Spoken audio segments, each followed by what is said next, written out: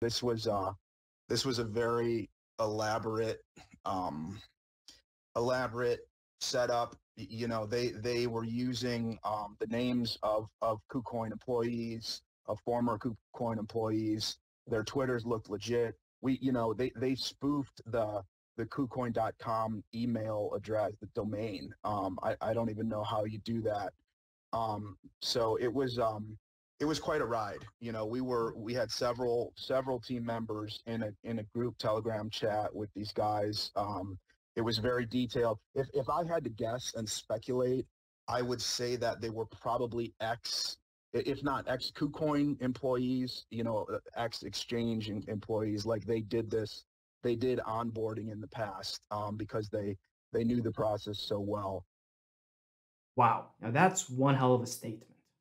So let's backtrack for a second. I'll help explain all the players that are involved right now inside this conflict. So first we have White Whale. Now White Whale is a project on Terra. They plan on launching, launching within the next couple weeks.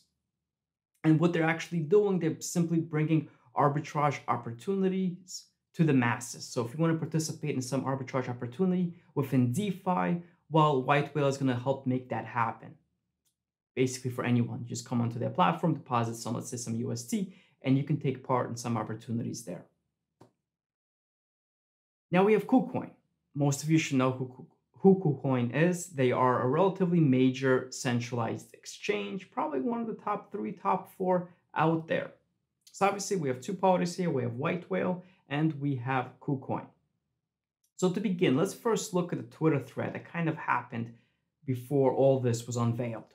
So on December 29th, White Whale releases a tweet, and they say regarding KuCoin, one, we're currently pursuing a KuCoin listing and the application process. Two, our listing has yet has not yet been approved, and we do not know if or when it will be. And the third point, the whale token that has been announced on KuCoin as be, well as being listed on KuCoin is an ERC20 token, and that is not us. Now, there was a tweet before this one that was already deleted by White Whale, and unfortunately, I do not have a screenshot. But basically, I remember the White Whale released a tweet basically saying that, hey, we've, we've got a listed of KuCoin. You should be able to trade it there.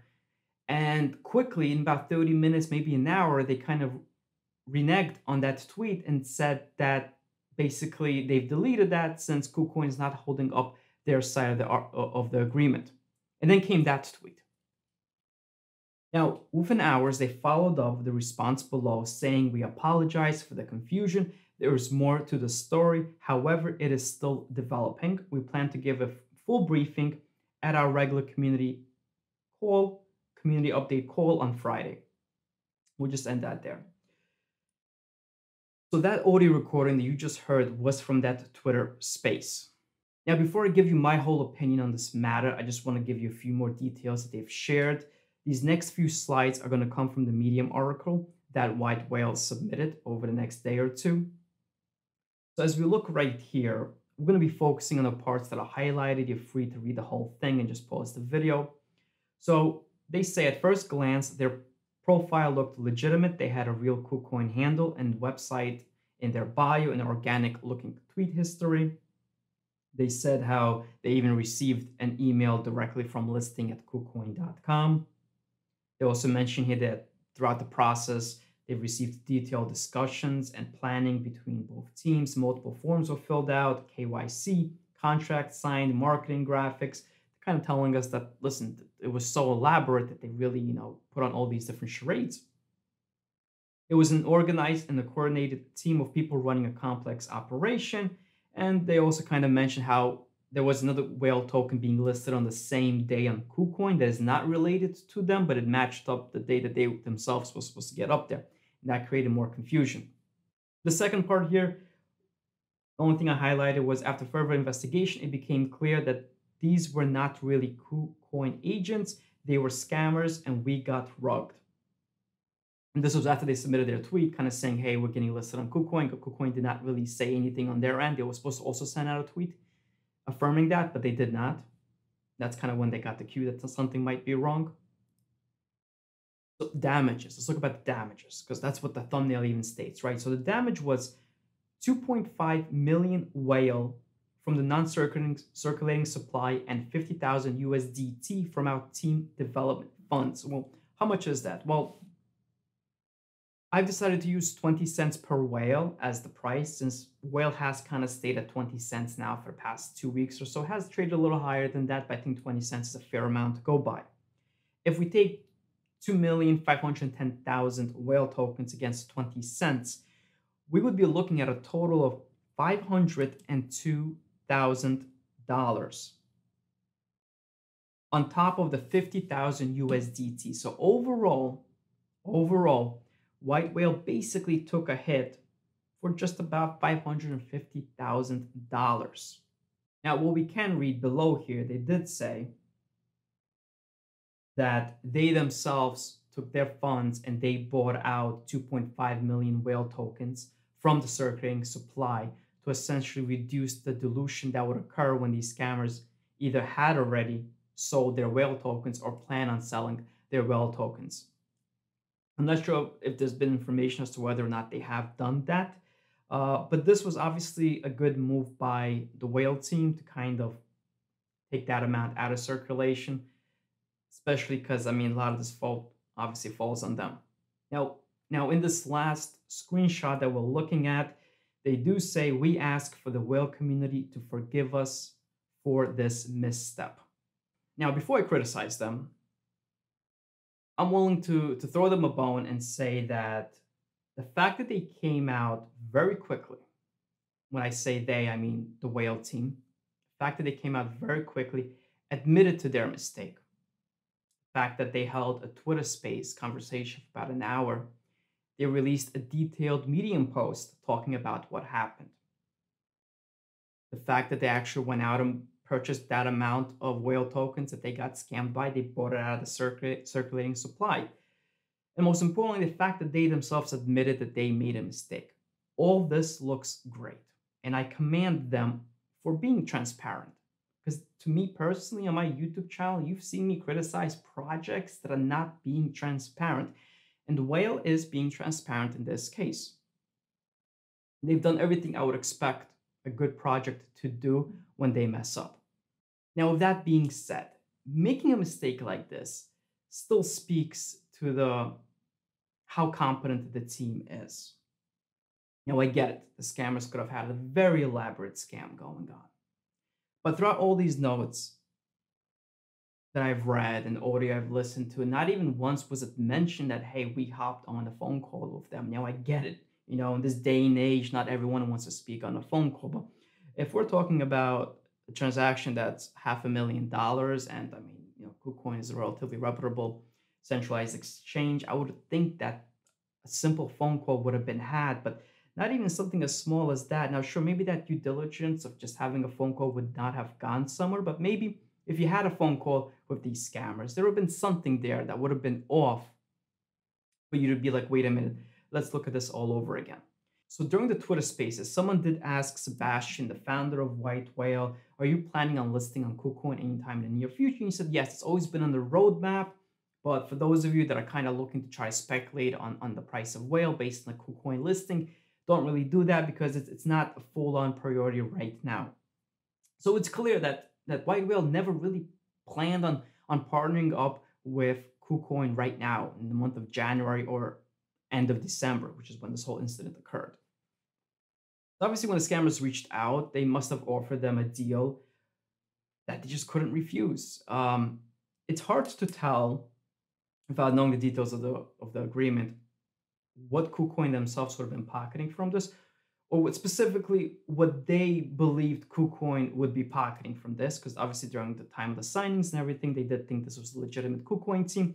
Now we can say that that 50,000 USDT that was also sent over, those whale tokens, that that would have been the payment to KuCoin for listing it onto their platform. Now I would also guess that the real KuCoin team, they likely take much more than 50,000 USDT. And I'm sure that the team on White Whale was kind of aware of that. And they kind of said, listen, if we wait a few more months or six months, you know, right now they're giving us maybe a promotional rate In other instances, maybe we would have to pay a quarter of a million dollars to get listed on their platform. They're giving us a promo- promotional offer for 50,000 USDT. Let's jump all over that, even though we're not at a place where we should kind of be getting listed at KuCoin, much to the fact that they simply do not have a working product yet, at least nothing live, right?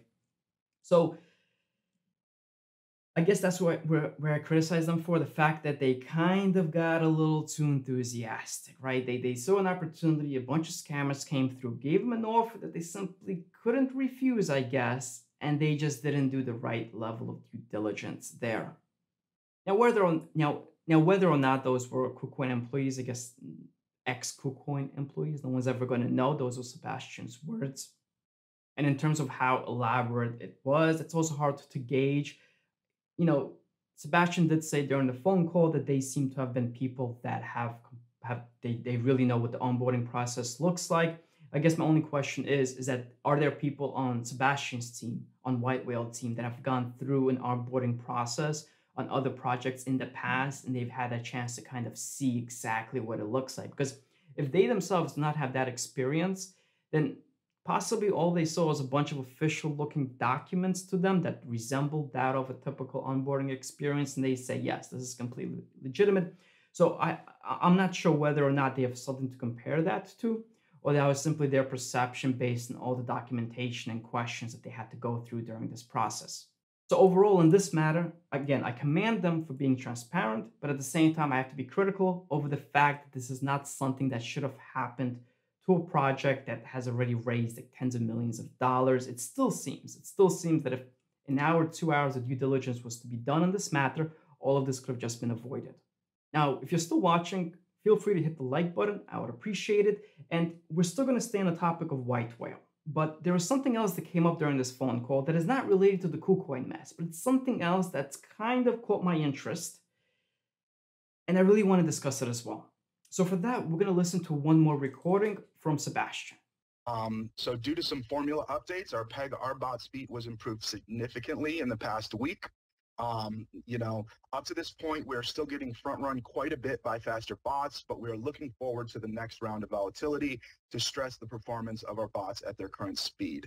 Um, the bottom line is we're still not satisfied with the speed of our bots. However, we are making significant progress and we are getting there. We know where we need to get um, and we're, we're making significant progress towards that. So from that recording, keep that in mind, right? They kind of mentioned the fact that they're still getting front run by other bots. Now, before I give you my full opinion on this, I want us to look at a few other uh, quotes from them that I got during the Twitter space. And I will also say that the vast majority of the questions in the Twitter space were actually regarding how effective their ARB bots currently are. So when someone kind of tried to kind of push in, ask like, are you still getting front run by the bots?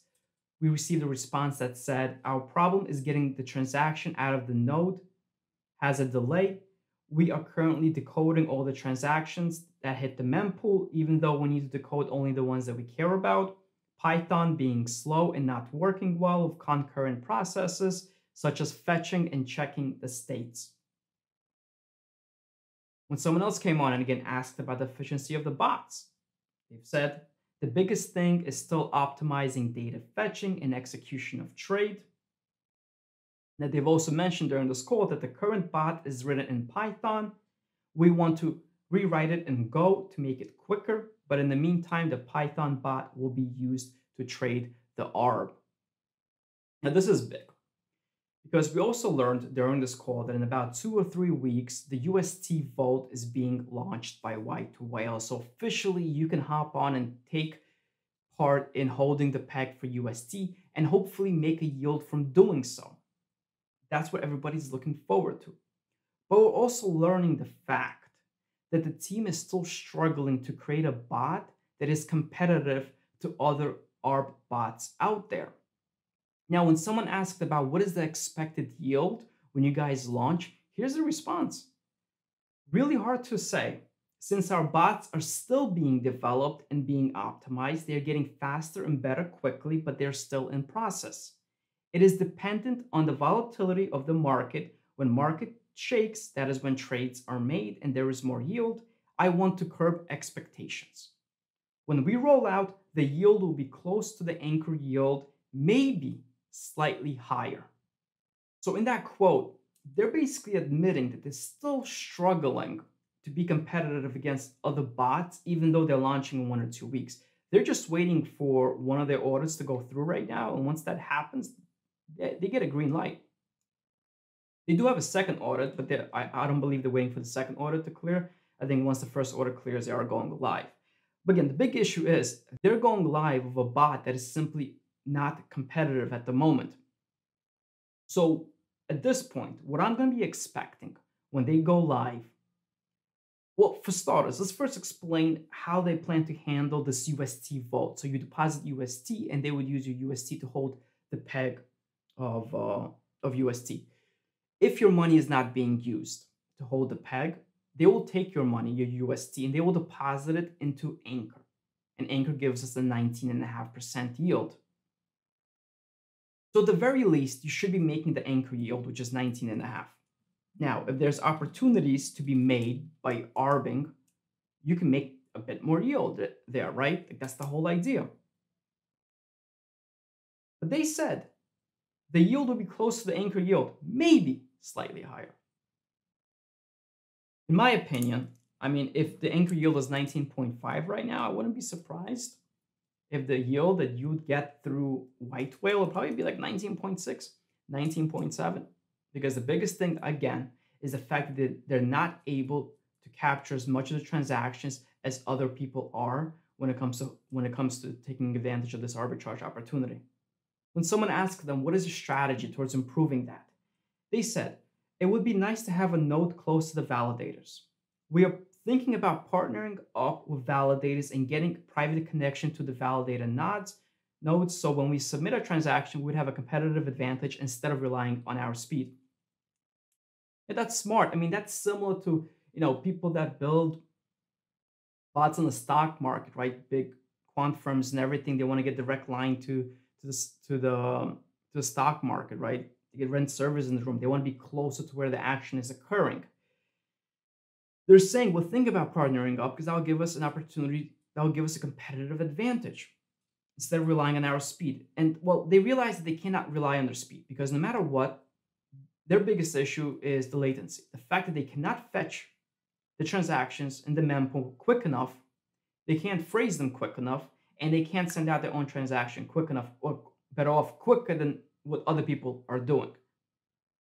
And they might be hitting a cap where like, listen, we can try to get quicker and quicker, but I still can't, we still can't see how we can get up to those speeds. So another way to go about it, instead of trying to compete on that level, let's try to do it through partnerships. Let's actually talk to the validators where people are actually staking all the Luna and where the transactions are actually going in. That's smart, but that is a partnership that you would think would have been done a while ago, tested out, made efficient, and then you go live and you offer it to the public, right? That, that that's just my opinion on it. Because right now, in the two weeks, we're going to see White Whale come out. Now, again, I've been excited about this project. I think this is a really cool project. I think bringing arbitrage opportunities to the masses is a great way, and it's, it's a very attractive way to bring more, more, uh, more people over to Terra.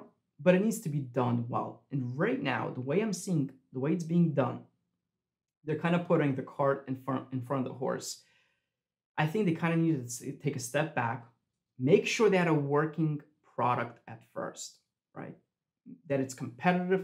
The fact that hey, we may not capture 100% of all the opportunities out there when it comes to holding this peg. We capture a material amount, a material amount that if we get half a billion TVL locked in, it would still yield an additional, let's say, four, five, six percent on top of the anchor yield.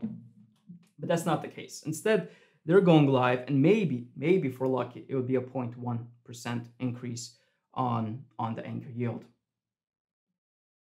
Now, some of you might say, well, 0.1%, that's still better. Like, what, what do you have to lose? What do you have to lose? Well, the increased risk.